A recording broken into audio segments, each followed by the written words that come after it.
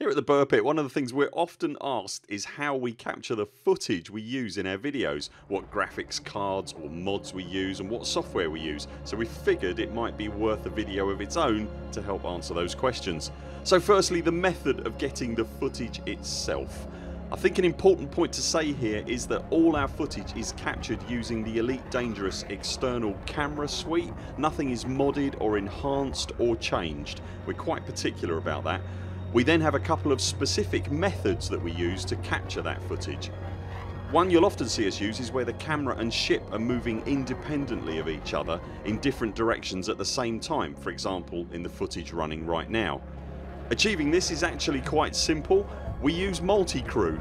The Buur Pit is very much a joint project between myself and my wife Commander Rheeney. As the camera work is very much Rheeney's specialist field I'll now hand over to her. Thank you, Buur. Generally speaking, when you see footage like this on our channel, it's achieved by Buur flying the ship and myself operating the third person camera from a multi-crew seat within the ship. This is extremely effective for things like combat footage and capturing the more unusual elements in the game that you just can't film on your own such as interdictions, core mining or probing planets. We're lucky that our computers are seated right next to each other which means that while we are capturing the footage like this we are able to communicate with each other about what we're doing and what we'd like to achieve. Using multi-crew not only allows us to manoeuvre the camera and the ship independently of each other but also allows us both to focus on each half of the equation. The Buur doesn't have to worry about what the camera is seeing and I don't have to worry about slamming the ship into something, something I'm particularly good at I must say. It's also rather handy when flying through an asteroid field or close to a planet's surface. Whilst some of our footage utilises multi-crew, not all of it does. We get through a vast quantity of footage when making videos and I quite often set my ship off in a direction and then jump out into my own camera.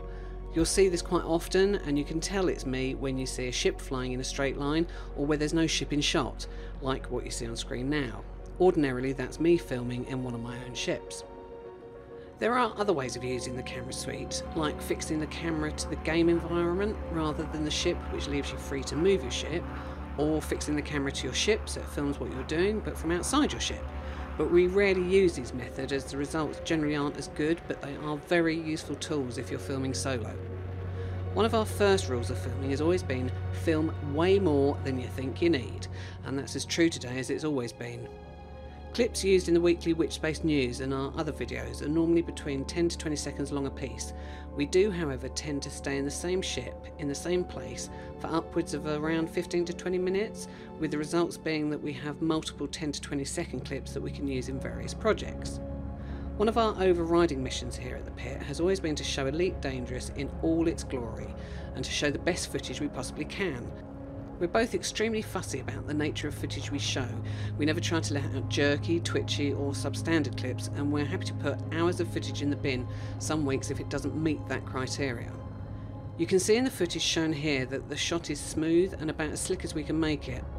There are other oddities as well that cause us to bin footage. For example, the game has a blackout shader which essentially turns off the camera to stop you seeing around corners or under landing pads for example. This shader especially kicks in on planetary surfaces for mysterious elite reasons, making filming there very problematic on occasions, so this will often govern cuts we make. Ultimately there's no way to sugarcoat the fact that Rheeney has practiced this stuff in game over and over again. It is the path that she has chosen to take in Elite, one she absolutely loves and it shows again that there are many paths possible in Elite not always paths that Frontier had perhaps planned for. It's also the reason she's not elite in exploration yet however she has got very high combat ranking just from sitting in multi-crew and all without ever firing a gun. We often hear feedback about how people find Elite's camera suite quite tricky and complicated to set up and then use. Rheeney has honed her skills over the years but her introduction was by watching Down to Earth Astronomy's excellent tutorial which is linked below. This is a must watch if you want to learn what the camera suite can do and how to set up the keys you need for operating the camera suite. For controlling the camera Rheeney started by using the keyboard and mouse but found this too twitchy and lacking in enough fine control. She then progressed on to using an Xbox controller which was much less twitchy and there are plenty of commanders who use this method but to have all the keybinds and functionality she really needed for refinement in movement because multiple manoeuvres are often undertaken simultaneously we now only use HOTAS. Two sticks should also work but this isn't something we've tried specifically. Software wise as we've said before we're very keen to show the game exactly as it can appear to anyone playing the game in normal conditions so we use no graphic mods or outside tools to enhance or assist in the image capture whatsoever. Rheeney captures our footage using an Nvidia RTX 2060 with every quality choice within Elite's graphics options set to the max. For capture software we both use Nvidia's GeForce Experience on card software because for our purposes it's always on and recording and quite simply it just works. If you have a reasonably modern Nvidia card with up to date drivers the chances are you're running it already yourself. So there you have it. We hope that answers some questions and provides a bit of an insight into how we do things here at the Buur Pit. That's it for now. Thank you so much for watching. We'll be back later this week with more videos. Until then, 07 you lovely lot, keep eating your greens on the way out and put your shoes on the toast rack. Or whatever it is he says. We very much look forward to seeing you next time.